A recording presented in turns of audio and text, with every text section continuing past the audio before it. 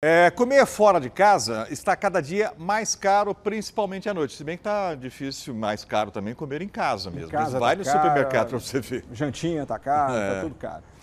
Uma simples ida ao pit dog não sai por menos de 100 reais para uma família de quatro pessoas. Busca praticidade, comer fora de casa. É uma opção para aqueles que não têm tempo ou habilidade na cozinha. Contudo, o preço dessas refeições pode pesar no bolso, principalmente para quem faz isso com frequência, como no caso desse motorista por aplicativo, que trabalha durante a noite. Eu estou sentindo na pele.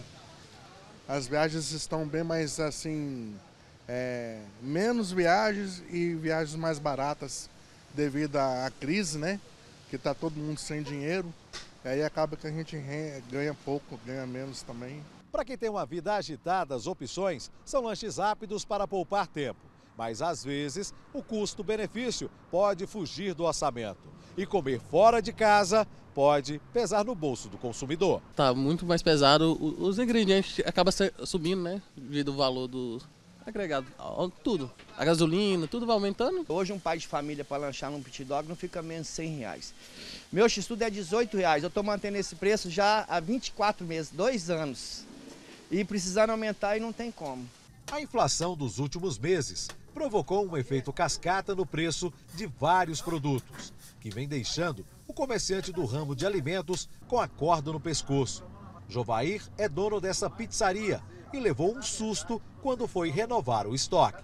O preço dos produtos a gente teve até um susto, né? Com o requeijão cremoso, o tomate. Hoje mesmo eu fui ver o preço do nosso fornecedor, quase caí de costa, tanto que subiu o tomate. O, a, a própria mussarela também teve um aumento altíssimo para nós. O problema é que, para manter os clientes, muitos estabelecimentos estão segurando o repasse de custos para o cardápio.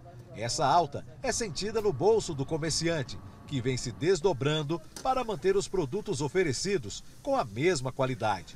Mesmo assim, Jobaí registrou uma queda no movimento de até 12%.